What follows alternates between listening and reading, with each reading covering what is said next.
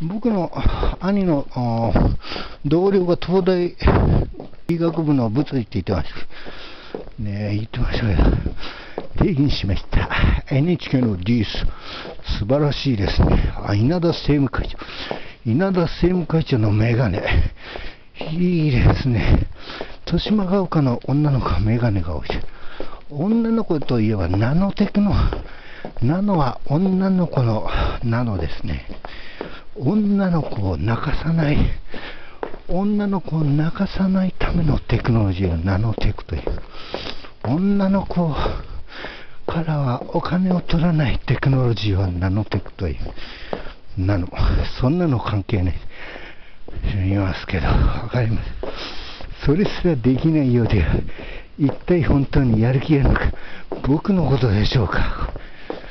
これぐらい歩いて、ダイエットになりません、これぐらいじゃ。1日30分って言うじゃないですか。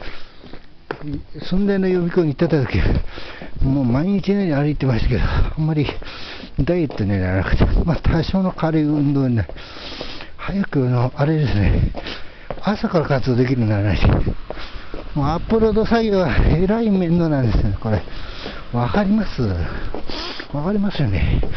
しかもなんか、僕頭が悪いのか、なんか常に朝から働けないって、朝から学校には行ってたんですけどね。えー、なんかこの残業してる気分がいいんですかね。わかりません。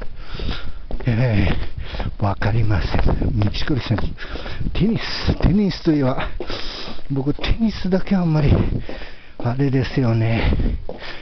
中学時代にテニス部、あ兄はテニス部でした、軟式テニス部。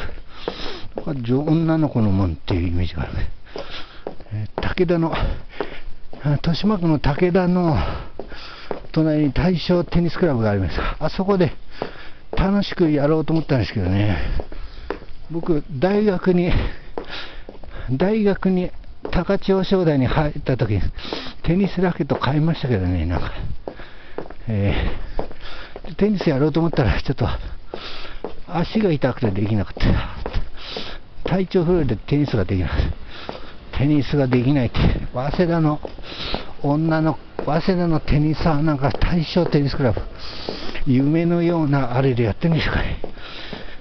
のちなみに中学の友達の長岡君と岡谷君がテニス部で、多分早稲田の時に大正テニスクラブに来たのかもしれませんね。わからない。岡谷君はあのテニス部キャプテンです。えー、岡谷君、全くネットに出ませんで怒ってるんでしょうかね、岡谷君は。岡谷君といえば、なんか WBS の大浜さんに似てるんですよ、なんか。僕、WBS の新藤さんっていう、ワールドビジネスサストライダー、新藤キャスターさんっていうのが、石津君に似てるんですよね。で、あの、豊島さんっていうのが手島先輩に似てるんで。で、大浜さんが岡谷君に似てる。これ全部、うちの中学の生徒会長だったね。大体、早稲田の正規、まあ、石津君は旧大の医学部です、昔の友達に似てるというね、友達というか先輩に似てるという。えー、ということで、僕が中1の時、手島先輩っていうのが生徒会長でした、まあ、僕は小学校から一緒でしたから知ってます。妹があれですよ、僕と同じあの学年で、クラスメートで、手島さんっていうのがいたんですけどね。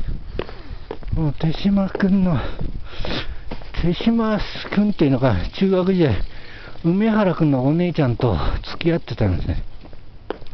梅原君のお姉ちゃんが、日大の獣医学部からのが入ったと。